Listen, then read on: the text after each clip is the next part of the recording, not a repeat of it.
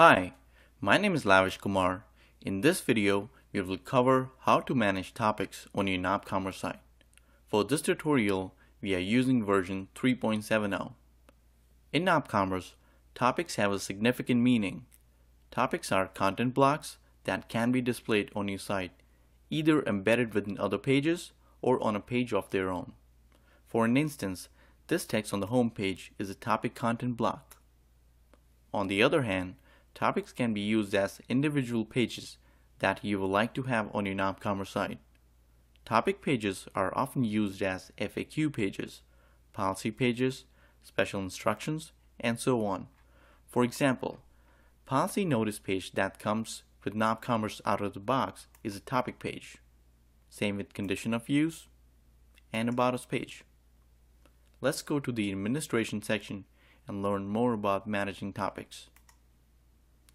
From the content management menu, select topic pages. In the list, you can see homepage text. This is the topic that we were referring previously. The content is coming from here. Let's go back to the topic list. And let's say for an instance, you would like to create a page on your store site that talks about your return policy.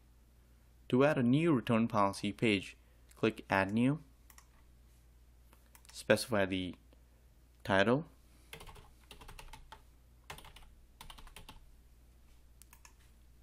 In the body field, you can add the topic content using the editor provided.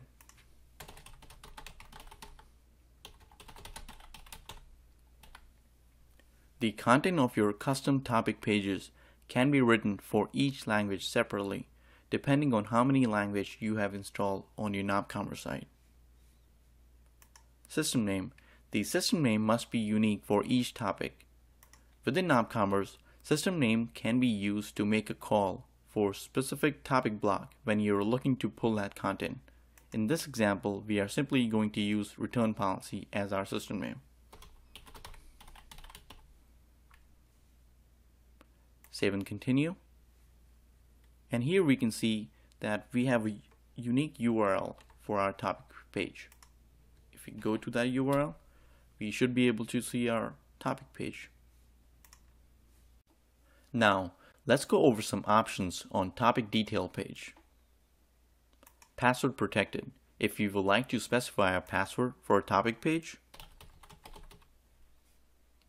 save and continue. And if you try to access the page now, it's going to ask for a password. This is a great way to create secure private pages on your store site.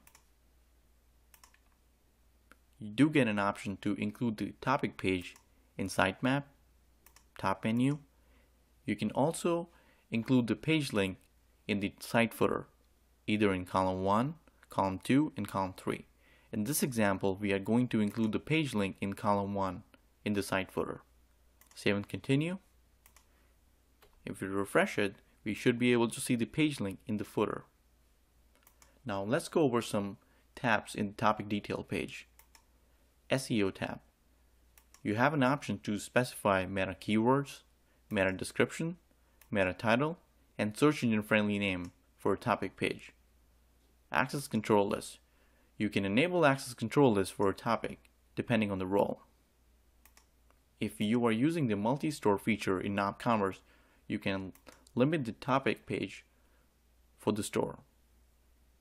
And this is how we manage topics in NopCommerce that allows you to edit or update content on the fly without touching the code. Now it's time for us to wrap up this tutorial video. Hope this was helpful. This video is brought to you by NopCommerce, open source shopping cart. Thank you.